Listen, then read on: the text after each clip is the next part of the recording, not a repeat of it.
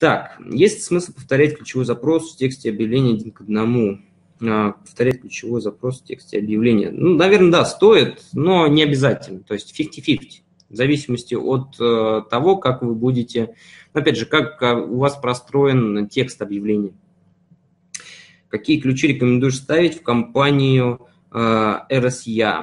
А, ну, опять же, мы говорим высокочастотные, вообще это высокочастотные и среднечастотные, если правильно говорить, от двух слов а, до где-то четырех. Используешь ли ты корректировку ставок по полу, возрасту, ретаргетингу и как работает в Яндексе? Сейчас не использую, потому что части, ну, опять же, это все в бета пока режиме используется. Яндекс сам пишет, мол, вы этим пользуетесь аккуратнее. Почитайте справочку. Если э, ключевой запрос слишком длинный, 40-50 символов, можно ли перестроить, переносить его в текст объявления ради 56 символов в заголовке, да?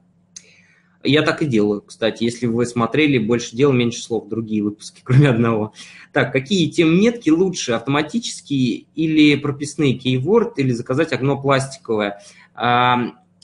UTM-метки иногда не работают, как бы смешно ни звучали. Я люблю, я объясню вообще, что такое UTM-метки, а, чтобы вы поняли, что на данный момент, на декабрь 2015 года является UTM-меткой. А, во-первых, есть метки, которые использует сам AdWords и Direct. А, у них встроенные есть метки, по которым, например, вы можете в управлении компанией да, зайти в рекламную кампанию, у вас заходите в ключи, даже по нескольким компаниям или по всем даже компаниям. И здесь есть кнопочка «Поисковый запрос». Раньше она называлась, она, короче, очень сложно как-то называлась, и можно было посмотреть только на одну рекламную кампанию. Теперь вы можете пройтись и посмотреть по каждому поисковому запросу, кто чего заходит. Все.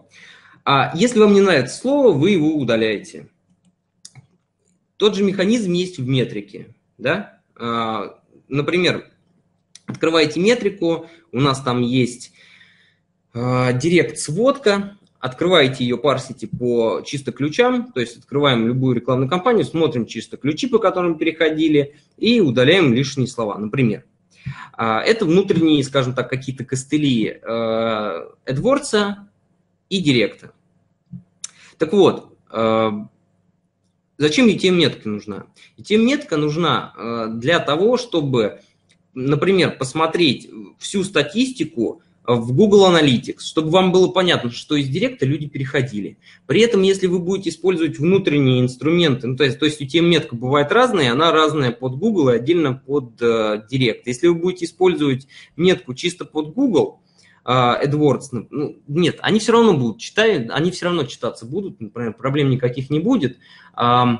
Ну, я лично за, за то, чтобы вот такие вещи, как ключевое слово, ключевое слово, которое вы вообще никогда менять не будете, а, у вас оно оставалось а, неизменным. То есть у вас есть поисковый запрос, по которому человек переходил. Это именно, извиняюсь, это именно ключевое слово. А в кейворде, вот где вы кейворд пишете, это поисковый запрос. То есть по поисковому запросу Э, то, что человек вписывал. Ну, то есть это две разные вещи, их можно вообще отдельно пихать. То есть отдельно использовать ключевое слово, например, э, его использовать UTM-term, и использовать, например, э, keyword равно вот эти вот фигурные скобочки keyword. То есть использовать два разных запроса прямо в одном UTM-метке, если вы так сильно хотите заморачиваться, в конце концов.